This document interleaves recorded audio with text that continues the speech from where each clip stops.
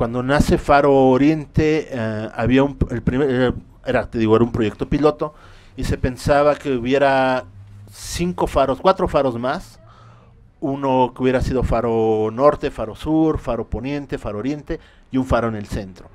Eh, se pensaba en cinco, uno por cada punto cardinal, incluyendo el centro, aunque dicen que no es punto cardinal el centro. No, pues claro que lo es, lo es, pero empezaremos a debatir y no, Exactamente. Este, pero sí había esa idea de hacer cinco faros en un principio. Eh, a la administración del maestro Alejandro Aura y el maestro Vázquez les alcanza para conformar Faro de Oriente.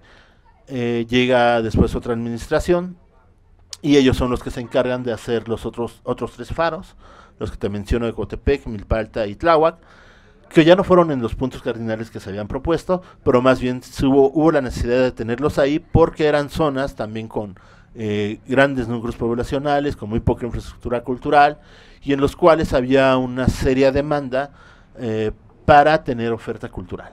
Entonces por eso se decide hacer ahí los otros faros, pero sí había desde un principio esta idea de hacer más faros en la ciudad, no solamente Faro de Oriente, sino expandir la, el concepto de los faros. Es una vez en el segundo aniversario del Faro, Faro de Oriente, ese día tocaba eh, Real de 14, Sue y La Castañeda.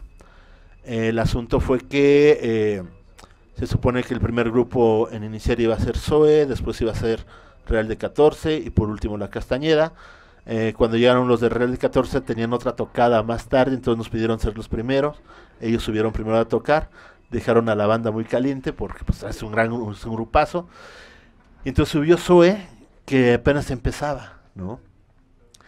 Y me acuerdo que les fue muy mal, ¿no? Este, botellazos, este, bájense, pero aguantaron, aguantaron, ¿no? Este, y terminaron su set y se bajaron. Pero lo importante fue también, más bien el asunto, lo recordamos más por el asunto de la Castañeda. Ese día, pues tocaba la Castañeda, pero de repente a la Castañeda no llegaba. Y entonces fue así de que, pues, ¿qué pasó con, la Castañeda? Entonces empezamos a hablarles, ¿no? A comunicarse con ellos. nervios de punta, ¿no? Ajá. Y de repente localizamos a Salvador Chava, ¿no? El vocalista de la casta. Y nos dicen, pues, ¿qué creen? Que la casta se acaba de deshacer. ¿Cómo? Ya no vamos, ¿no?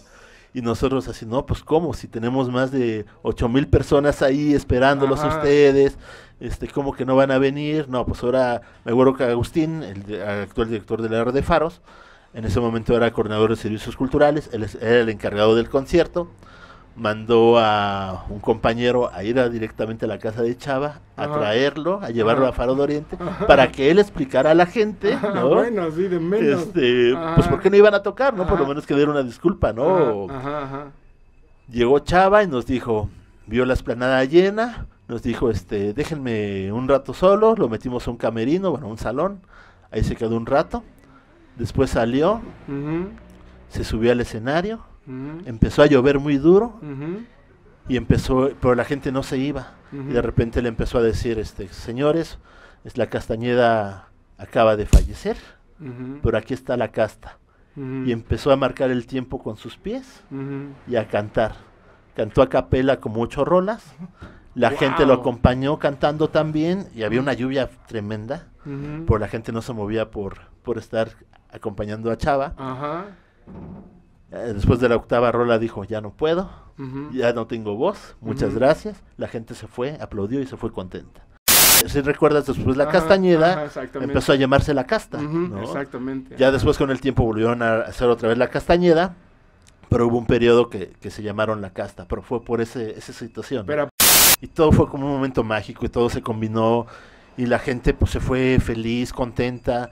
Nosotros decimos, es una magia tan especial que tiene el faro, ¿no? Que tienen los faros, ¿no? Que pasan situaciones como por el estilo, Entonces digamos que es uno de los momentos que, que lo tengo muy, muy grabado en la memoria, ¿no? Y pues que vayan, asistan, ¿no? El, eh, va a haber varias actividades sobre ciencia y eh, va a haber un planetario también. Entonces lo esperamos ahí en el Faro, un trabajo en colaboración con el Instituto de Ciencia, de la Ciudad de México. Y también felicitar a Elia Faro Indios Verdes por su noveno aniversario, ¿no? Es uno de nuestros hermanos. y eh, nos sentimos muy a gusto y muy complacidos de haber sido invitados a este conversatorio.